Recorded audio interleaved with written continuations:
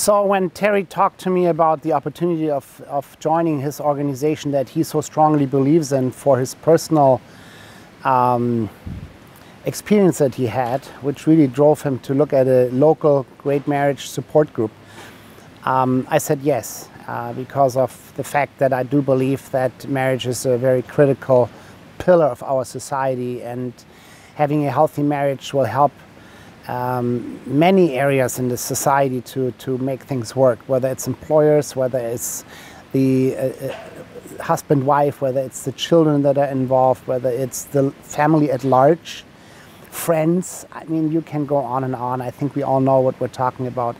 I am aware that many people try to make this work and do the best they can. We all know that. But I think our concept of having great marriages and having mentors, being um, to going this walk together in the beginning uh, with a struggling couple that is trying to make this work is really a great concept. It's I call it back to basics. We can get really complicated with different books with different resources. And we do have a lot of resources in our library, but overall it's a back to basics program from, let's say, a healthy mentor couple helping a struggling mentor couple. Uh, we have done different, uh, we have always gone through different people that, are, that, are, that have been there. I think it is important for the health, for the health of the board to keep developing um, our skills and how we get involved at different, at different seasons of our times, being part of the board. Uh, but it's a strong group. I like it. I'm very happy to be part of that. Uh, I have, uh, I think this is the way to go to be able to help other people that are struggling. Well, I think it's uh, communicating. You communicate a lot, you talk a lot.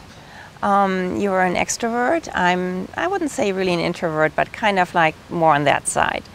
But um, if there is no communication between us, I feel like we're missing out, and then things take on a turn that are usually not going. It's usually not going in the di right direction. So I, I like to have regular um, times to sit down and talk about everything. I'm speechless. No. I, I think um, I think it's it's true. I uh, you you have helped me, and I'm not saying this only here in front of the camera, but you have helped me become a better communicator within our marriage.